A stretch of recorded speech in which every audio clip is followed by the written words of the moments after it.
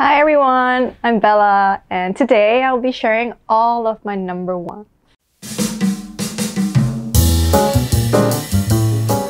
The number one movie will be The Memoirs of Geisha. Um, I remember watching that when I was young and I really love the aesthetics and also the music and everything. It's just so well executed, so yeah.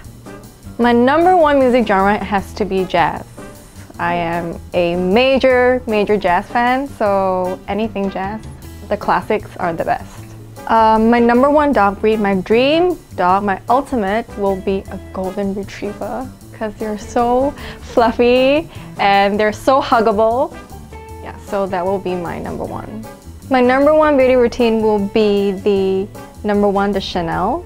What I love about this range is that it covers from makeup to skincare to fragrance, so I can rely on the entire collection and it's just so easy for me. My number one pick from the collection will be the serum.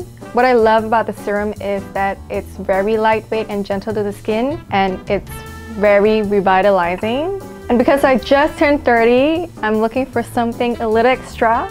So this is perfect for me because it helps to revitalize the skin and it also has anti-aging properties. It helps to prevent any signs of aging and it's just what I'm looking for.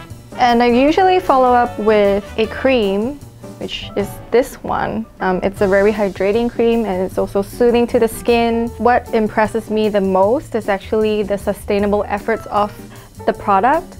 Basically, the entire product is sustainable.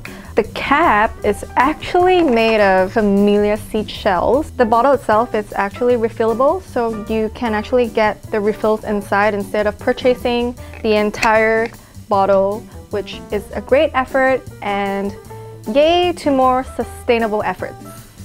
Once again, I'm Bella and those are all my number ones. See you next time. Bye!